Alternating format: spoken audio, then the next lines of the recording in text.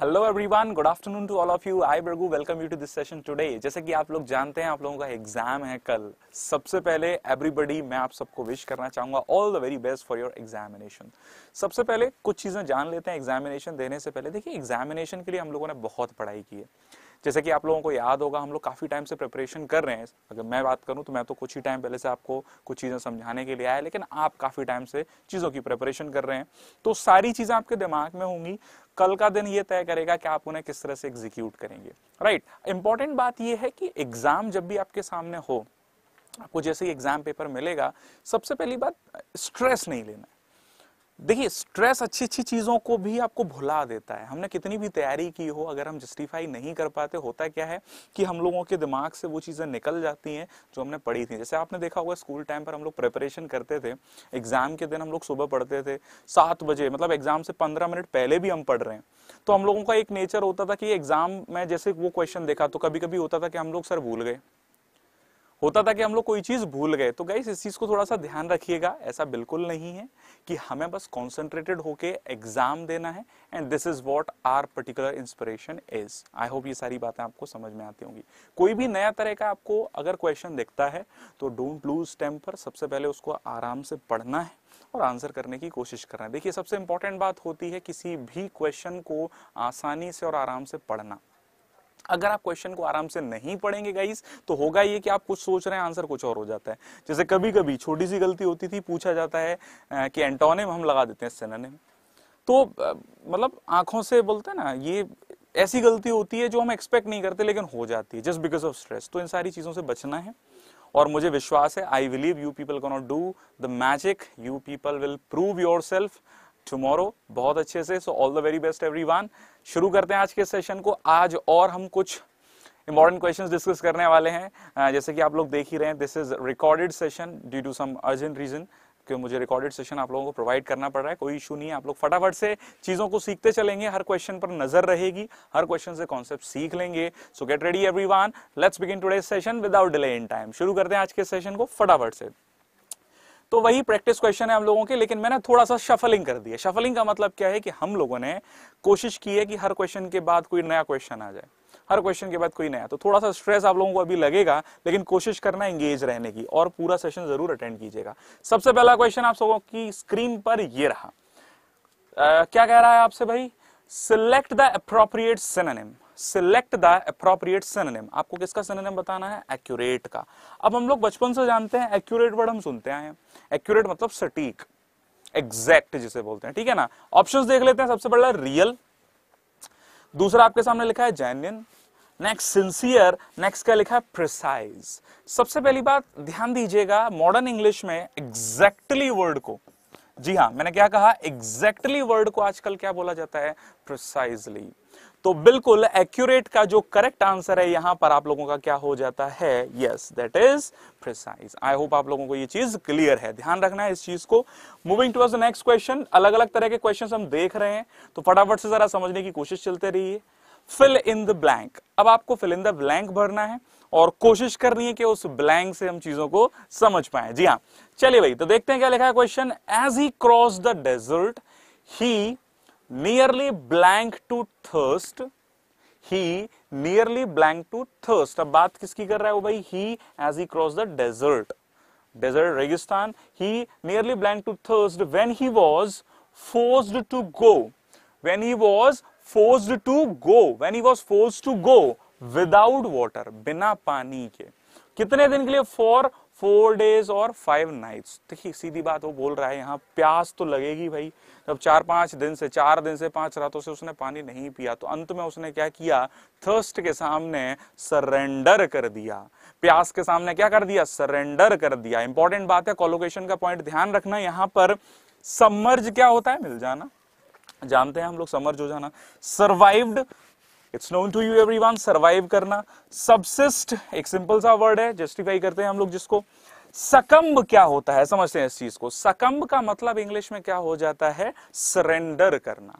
सकम्ब के साथ इंग्लिश में हम क्या फॉलो करते हैं गाइस क्या फॉलो करते हैं? चू फॉलो करते हैं। So the correct answer here would be succumbed to thirst succumb to death जैसे जनरली ये वर्ड यूज़ होता है, जैसे कोई व्यक्ति काफ़ी क्रॉनिक डिसीज से सफर्ड है तो अंत में बोलते हैं ना, उसने मौत के सामने दम तोड़ दिया सकम्ड टू डेथ इस तरह से बोला जाता है। क्लियर चलिए भाई here comes your next one आप लोग समझ पा रहे हैं चीज़ों को? बिल्कुल एरर डिटेक्शन फटाफट से जरा जवाब देने की कोशिश कीजिएगा। क्या she was unable to produce sufficient evidences for support of her accusation उस पर जो आरोप थे उसके बचाव के लिए वो उतने एविडेंस प्रोड्यूस नहीं कर पाई। ठीक है ना? अब she was unable to produce sufficient देखिए क्या लिखा है यहाँ पर? एविडेंसेस क्या लिखा है यहाँ पर? एविडेंसेस और ये बात हम बखूबी जानते हैं। एविडेंस बोले तो साक्ष्य। साक्ष्य यानी अपने आप में प्रूफ का कंप्लीट फॉर्म अब अगर मुझे, जैसे कि देखिए एविडेंस यहाँ पर क्या हो गया? आपका अनकाउंटेबल नाउन और अनकाउंटेबल नाउन को जब काउंट नहीं करते तो उसका प्लूरल बनाना संभव नहीं है। लेकिन अगर आप चाहते अगर आप इसको लिखना भी चाहते कि मुझे एक प्रूफ चाहिए या जितने चाहिए तो हम इसको किस वर्ड से चेंज करके लिख सकते थे? अ पीस ऑफ़ तो ये बात क्लियर है? एविडेंस आपका क्या है? अनकाउंटेबल नाउन और यहाँ हम क्या यूज़ नहीं करेंगे? As it must be clear to all तो या तो आप लिखो अ पीस ऑफ़ एविडेंस अगर आपको लिखना है, उसको काउंटेबल के रूप में. So the error would be in part B I hope ये बात आप लोगों को समझ में आ गई होगी. क्लियर है? चलिए भाई. अगले क्वेश्चन की तरफ़ बढ़ते हैं। फिल इन द ब्लैंक फटाफट से जरा सोचिए यहाँ पर क्या आना चाहिए।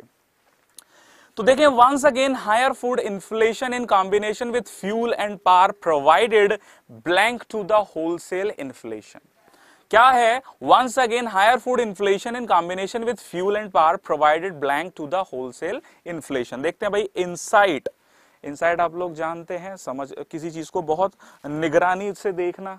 आंतरिक रूप से देखना क्लियर करने की दृष्टि से देखना। इम्पेटस इम्पेटस का मतलब क्या हो जाता है भाई? एनकरेज एनकरेज करना, बढ़ावा देना किसी चीज़ को, ठीक है ना? इंस्पिरेशन आप जानते हैं। अब देखिए, ये इम्पेटस जो वर्ड है, ये कब यूज़ करते हैं? किसी चीज़ में आवेग वेलोसिटी इंक्रीज करने के लिए राइट इंप्रेशन जानते हैं। तो यहाँ होलसेल इन्फ्लेशन को बोलते हैं ना आगे बढ़ने के लिए यहाँ पर इंस्पायर किया पर्टिकुलरली तो इंस्पिरेशन तो यहाँ पर गलत हो जाएगा, क्योंकि हम बात किसकी कर रहे हैं? इन्फ्लेशन की। तो उससे बेहतर ऑप्शन यहाँ आप लोगों का क्या हो जाता है? इम्पेरस impedance. Clear, everyone? So, the correct answer would be second. समझ में आ गई होगी बात? Everybody. आगे बढ़ लेते हैं भाई। बने रहिए, समझते रहिए। क्लोज पैसेज रखा है आपके लिए। क्यों? क्योंकि कहीं ना कहीं ये बात हम जानते हैं कि क्लोज टेस्ट में हम अक्सर हम बिखर जाते हैं। उसका रीजन क्या है कि हमें फिलर्स तो बढ़ना आ जाता है। लेकिन क्लोज टेस्ट का जो स्ट्रेटजी है, वो यही कहती है कि आपको पैराग्राफ के अकॉर्डिंग आंसर करना है, ना कि पर्टिकुलर ब्लैंक के अकॉर्डिंग जी हाँ मैंने क्या कहा? हम लोगों को वहाँ पर जैसा पैराग्राफ चल रहा है, उसके अकॉर्डिंग आंसर करना होता है। जनरली आप देखते हैं कि हम लोगों को एग्जामिनर जो क्लोज टेस्ट पूछता है, वो इसीलिए पूछता है कि आप पैराग्राफ से कितना रिलेट कर पा रहे हैं। आपको पैराग्राफ की टोन समझ में आ रही है या नहीं? This could be the probable reason जिस वजह से एग्जामिनर आपसे क्लोज टेस्ट पूछता है राइट right? तो डिसीज़न मेकिंग पर बेस्ड होता है जनरली हम लोग शुरू करते हैं ऑप्शन वन को फिल करेंगे, पढ़ते हैं एक एक करके। If winter seems to be देखिए, कौन सा टेंस है? प्रेजेंट सिंपल कौन सा टेंस है? प्रेजेंट सिंपल ये सारी छोटी चीज़, छोटी छोटी चीज़ें आपको ध्यान रखनी पड़ेंगी। If winter seems to be the season for migratory birds to flock to warmer climates right warmer climates के लिए summer time is ideal for wetland birds समझ में आता है ये पर्टिकुलर लाइन अब पहले ऑप्शन में क्या भरना चाहिए? तो देखिए blank 50 kilometre from Warangal in Telangana. जरा लॉजिकली समझने के लिए टोटली तो बोलते नहीं है बट बोलेंगे नहीं नॉट बोलेंगे नहीं। ऑप्शन एलिमिनेट की क्या बच गया? नियरली तो यहाँ आपका क्या आंसर फिल हो जाएगा पहले वाले में? दैट इज़ नियरली सेंटेंस के अकॉर्डिंग आंसर करना है। मैं आपसे फिर कह रहा हूँ, हमें आंसर जो करना होता है, वो सेंटेंस के अकॉर्डिंग करना है। ये सारी चीज़ें बहुत इंपॉर्टेंट रोल प्ले करती हैं गाइस राइट ठीक है? चलिए तो आंसर क्लियर है फ़र्स्ट वन का। Moving towards the next one अगले बार बढ़ते हैं। If winter seems to be the season for migratory birds to flock to warmer climates summer time is ideal I think visible है सब लोगों को right summer time is ideal for wetland birds nearly 50 kilometre from Warangal in Telangana Pakhal lake Pakhal या पखल जो भी है उसका pronunciation Pakhal lake blank to be playing host अब जरा ध्यान दो, मैंने आपको बोला था टेंस का विशेष ध्यान रखना है। यही होता है क्लोज टेस्ट का मेन उद्देश्य कि आप कितना चीज़ों को कोरिलेट करके ध्यान रख पा रहे हो। तो जब बात प्रेजेंट सिंपल की हो ही रही है तो हम अपनी तरफ़ से नया क्यों लिखेंगे? इसीलिए यहाँ भी क्या आ जाएगा भाई? Seems answer according to the passage this is what the main thing आपको ध्यान रखनी है क्लोज टेस्ट में, ठीक है ना? तो यहाँ पर आपका क्या आंसर हो जाएगा? सीम्स तो seems to be playing host बहुत सारे लोग मैंने देखा है बी के साथ हमेशा थर्ड फॉर्म सोचते हैं। अरे जब वो पैसे होगा, तब थर्ड होगा। जब प्रॉपर कंटिन्यूस है तो भाई आईएनजी लिखनी पड़ेगी ना तो ऐसा बिल्कुल मत सोचना हमेशा। बस देखना है पैसिव वॉइस है, यानी काम करने वाला कोई और है, लेकिन मौजूद नहीं है तो थर्ड फॉर्म मौजूद है तो आईएनजी फॉर्म वहाँ पर हम लिखेंगे, यहाँ लेख की बात हो रही है, ठीक है? तो पकड़ लेख की बात कर रहे हैं। Seems to be play seems to be playing host to next question पर आते हैं। Host to blank wide variety of flora and fauna सुना होगा आप लोगों ने फ्लोरा एंड फोना पूरी उसकी प्लांट की प्रजाति के लिए जनरली हम लोग बोलते हैं इस तरह से। फ्लोरा एंड फोना जो उत्पन्न होते हैं पता है ना? ठीक है साइंस के स्टूडेंट हैं आप लोग, वैसे भी सीरियस आप लोग। प्रिपरेशन कर रहे हैं तो साइंस के बारे में मुझसे ज़्यादा नॉलेज ऑब्वियसली आप लोगों को होगी। तो फ्लोरा एंड फोना के लिए वहाँ पर हाँ तो यहाँ पर वेराइटी अब देखिए, हम लोग ग्रामेटिकली अगर देखें तो हम जब भी बात करते हैं किसकी? नाउन ऑफ़ नाउन ध्यान दीजिए नाउन ऑफ़ नाउन जब किसी भी नाउन को हम नाउन ऑफ़ नाउन के फॉर्म में लिखते हैं, इसका मतलब वो स्पेसिफाइड हो गया। और स्पेसिफाइड हो गया, इसीलिए उसको हम उससे पहले क्या लिखते हैं? दा। तो देखिए वेराइटी ऑफ़ फ्लोरा एंड फोना। तो यहाँ पर स्पेसिफाई किया, इसीलिए क्या लिखोगे? द। मुझे लगता है ऑप्शन में क्या है? द। बात समझ में आ गई होगी, क्लियर हो गई होगी, जो चीज़ मैं आपको यहाँ समझाना चाह रहा हूँ। ठीक है भाई? चलिए नेक्स्ट आते हैं। तो the wide variety of flora and fauna, आगे देखते हैं। Blank season. तो उस पर्टिकुलर सीज़न की बात कर रहे हैं, दूसरे सीज़न की बात हो ही नहीं रही तो इजिएस्ट है। दैट होगा नहीं देयर होगा नहीं दीज होगा नहीं, क्या हो जाएगा भैया? दिस हो जाएगा। क्या हो जाएगा? दिस हो जाएगा। समझ में आ रहा होगा चीज़ों को? बस इसी तरह ध्यान रखना है। ठीक है ना? अगले क्वेश्चन पर बढ़ते हैं। If climate seems to be the for migratory birds to flock to warmer climates summer time is ideal for wetland birds पहले वाले में क्या था? Nearly 50 kilometre from Warangal in Telangana Pakhal lake seems to be playing host to the wide variety of flora and fauna ठीक है? Fourth वाले में हम लोगों ने अभी क्या फिल किया था? पीछे देख लेते हैं। दिस सीज़न ठीक है ना? अब देख लेते हैं यहाँ पर। Wetland birds from north and central India come blank the south तो साउथ की ओर आते हैं, यहाँ हम डायरेक्शन की बात कर रहे हैं। क्या बात कर रहे हैं? डायरेक्शन की बात कर रहे हैं, दिशा की बात कर रहे हैं। तो बिल्कुल कौन सा ऑप्शन हो जाता है आपका बाकी ऑप्शंस वहाँ पर एलिमिनेट हो जाते हैं। क्लियर हो गई होगी चीज़। तो देखिए क्लोज पैसेज को सॉल्व करना। जनरली में से क्वेश्चन पूछा जाता है, सर क्लोज टेस्ट को कैसे सॉल्व करें? देखिए क्लोज टेस्ट को सॉल्व करना है, सबसे पहले एलिमिनेशन लगाओ। यानी आपको वहाँ पर्टिकुलरली ऑप्शंस को क्या करना है? एलिमिनेट करना है। कॉन्टेक्स्ट के अकॉर्डिंग ठीक है, दूसरी बात, हमें यह ध्यान रखना है कि आंसर हमें पैराग्राफ के अकॉर्डिंग करना है। आंसर हमें पैराग्राफ के अकॉर्डिंग करना है। तो जैसी बात पैराग्राफ में हो रही है, उसके अकॉर्डिंग वहाँ सुटेबल आप ऑप्शन को वहाँ फिल करेंगे। आई होप ये बात आप लोगों को क्लियर हो। क्लियर चलिए भाई so here comes the next one select the wrongly spelled word select the wrongly spelled word फटाफट से बताइए फोर्टींथ फोर्टीएथ सेवनटींथ या फिफ्टींथ देखिए इस श्रेणी में मैं आपको पहले भी बता चुका हूँ, ये गलती हम लोग हम लोग से काफ़ी ज़्यादा होती है ट्वेल्थ की स्पेलिंग की right so the spelling of twelfth is T W E L F T H ये पहले भी बता चुका हूँ मैं। वैसे ही फोर्टीन सही है सेवनटीन सही है फिफ्टीन सही है बट फोर्टीएथ की स्पेलिंग फोर नहीं फॉर होगी। तो that is fortieth fortieth ठीक है यू वहाँ नहीं आएगा। क्लियर है तो बहुत छोटी छोटी चीज़ें हैं जो आपको ध्यान रखनी होती है हमेशा, बस एग्ज़ाम पॉइंट ऑफ़ व्यू से इंपॉर्टेंट है।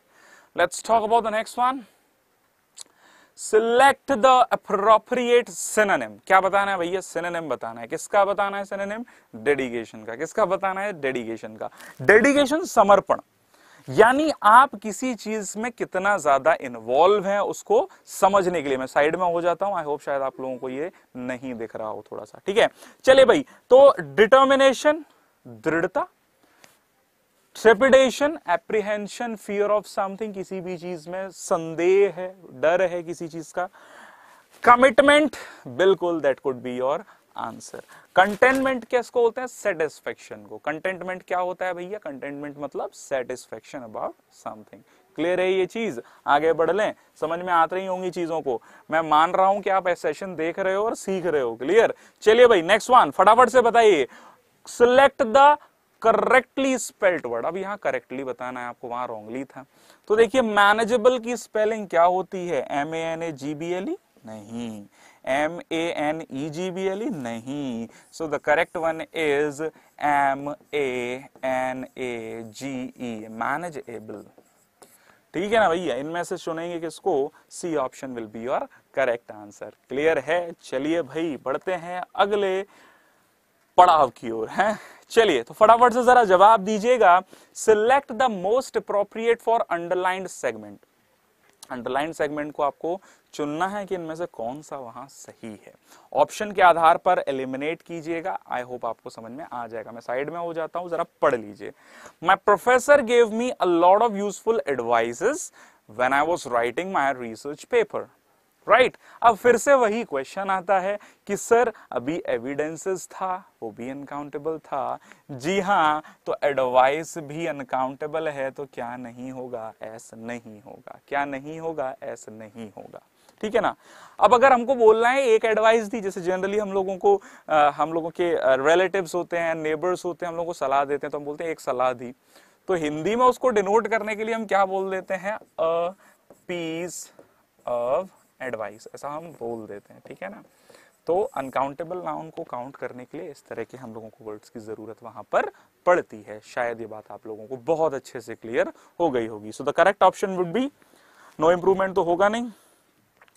एडवाइसेस गया एडवाइसेस गया, क्या बच गया? A option is your correct answer clear आगे बढ़े। Let's move towards next one make no head way make no headway इसका आपको क्या बताना है? इडियमेटिक एक्सप्रेशन है। ये इडियम एंड फ्रेज है मेक नो हैडवे क्या होगा? फटाफट देख लो।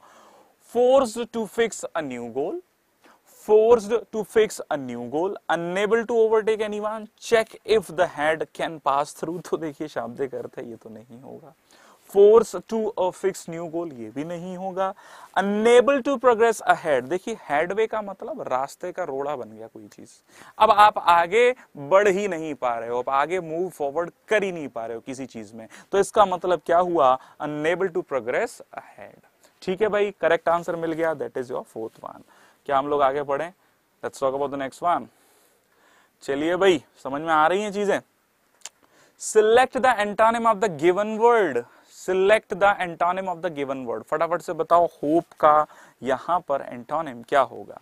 सबसे पहला कॉन्फिडेंस क्या कॉन्फिडेंस हो सकता है? होप का एंटोनिम डेस्पेयर डेयरिंग करेज क्या होना चाहिए? तो बिल्कुल सही जवाब दैट इज़ डेस्पेयर यानी we are talking about something which is disheartened या मैं कहूँ सैड फील जहाँ निराशा ही हो losing hope losing hope despair का मतलब क्या होता है? लूजिंग होप तो इसका ये क्या हो गया? एग्जैक्ट क्या हो जाएगा? एंटोनिम क्लियर है ये चीज़? चलिए भाई, मैं रेज करता हूँ moving towards the next one समझ दिख रहा है सबको? हाँ विजिबल है। चलिए भाई error detection once again in front of you बताइए, कहाँ गलती है और क्या गलती है? तो पढ़ लीजिए, आसानी से समझ में आ जाएँगी चीज़ें। द टीम बिगेन सर्चिंग देखिए, पहली बात बिगिन के साथ जेरेंड भी सही है।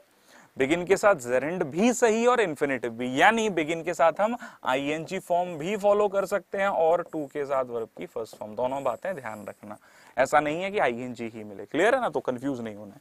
The team began searching for reasons for their poor performance in the tournament तो पहले तो कुछ लोग सोच रहे हैं, sir reason searching for reason for तो देखिए, ये सर्च फॉर तलाश रीजन के बाद यहाँ क्या आया उसका प्रेपोजिशन तो ये फ्रेजल पॉइंट ऑफ़ व्यू हो गया, वो प्रेपोजिशनल पॉइंट ऑफ़ व्यू का। दोनों बातें ध्यान रखना, ठीक है? अब यहाँ क्या लिखा है? देयर अरे भाई देयर क्यों बोलना?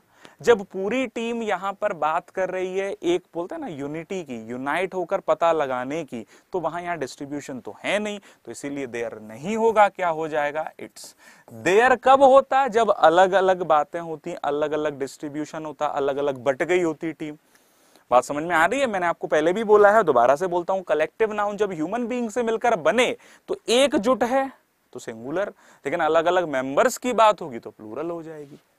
ठीक है ना? वही पॉइंट ध्यान में रखना है। क्लियर है ना ये चीज़? सिंपल सा लॉजिकल फिनोमिन जैसे कमेटी का एग्जांपल भी मैं अगर ले लूँ। कमेटी ने डिसीज़न लिया एक मत होकर तो सिंगुलर लेकिन सबके डिसीज़न अलग अलग थे तो प्लूरल हो जाएगा, क्योंकि मेंबर्स की बात हो रही है। आई होप ये बात सबको क्लियर हो गई होगी। क्लियर चलिए भाई फटाफट से देखिए और ये बताने की कोशिश कीजिए कि यहाँ पर आपका ऑर्डरिंग ऑफ़ सेंटेंस कौन सा सही होगा। एवरीबडी फटाफट से जरा देखकर बताइएगा। आपके सामने चार सेंटेंसेस है गाइस और आपको देखकर बताना है which one is the correct one कौन में से कौन सा ऑर्डर सही है? A D B C D A C B B D A C या ए बी डी सी फटाफट से देखते हैं और समझने की कोशिश करते हैं। Had already covered half the distance when we reached a three road junction a sentence बोल रहा है we had already covered half the distance when we reached a road junction ठीक है, चलिए भाई। I was worried it might pounce on us देखिए it आ रहा है मतलब इससे पहले कोई नाउन आया है और वो क्या कर रहा है? पाउंस कर रहा है, झपट रहा है। झपट सकता था, ये कह रहा है। But thankfully we picked up speed and it got left behind तो मतलब ये बात क्लियर है एडवर्ब आ रहा है यहाँ पर तो कहीं ना कहीं ये अ काइंड ऑफ़ कंक्लूजन हो सकता है। क्या हो सकता है? कंक्लूजन हो सकता है तो भाई ये भी नहीं है। सडनली ये बाकिंग डॉग अब देखिए बाकिंग डॉग के लिए एट आ रहा है, यानी ये बात क्लियर है बी से पहले डी होगा। बी से पहले डी कहाँ कहाँ दिया है? यहाँ नहीं है। बी से पहले डी यहाँ भी नहीं है, यहाँ भी नहीं है। देखो भाई, केवल एक से पता चलता है। चीज़ें लॉजिकली समझोगे ना तो इस तरह से आंसर मिलेगा। आप देख लीजिए we had already covered half the distance when we reached a three road junction suddenly, a barking dog began to chase the bike for some distance. I was worried, i was worried it might pounce on us. But thankfully contradiction हो रहा है but क्या बताता है? Contradiction but thankfully we picked up speed and it got left behind यानी correct answer क्या होता है? फोर्थ वन तो आई होप आपको ये बात समझ में आ गई होगी। बिल्कुल थैंक यू तो देखिए ये थे आपके कुछ प्रैक्टिस क्वेश्चंस जो मैंने आज आप लोगों के लिए रखे थे। मैं नहीं चाहता था कि क्लास ऐसा ना हो कि आ, किसी कारणवश ना हो लेकिन इंपॉर्टेंट बात यह है कि आप लोगों के लिए कल का दिन बहुत इंपॉर्टेंट है। बस सुबह उठिएगा आप फ्रेश रहिएगा कोई भी स्ट्रेस मत लीजिएगा no need to take any stress देखिए एग्ज़ाम है life is all about giving and taking examination right अपने बस अपने आप को काबिल बनाओ और मुझे पता है कि यू पीपल आर बहुत ज़्यादा काबिल। हिंदी में बोलते हैं, बहुत ज़्यादा काबिल। काबिल हैं आप, ज़िम्मेदारी उठाएँगे और सर्व करेंगे इस नेशन को। तो बस ज़्यादा मैं कुछ नहीं कहूँगा एट लास्ट यही कहूँगा I am proud of you all मुझे पता है you people will do the magic tomorrow right so at last I Bragu rest my all lecture here and one more thing I would like to tell you, tomorrow you will prove what you are. Jai Hind everyone. हम लोग ज़रूर मिलेंगे। आप लोगों के exam के बाद और आप बताइएगा किस तरह से आपका एग्ज़ाम रहा। So this is all for now thank you so much everyone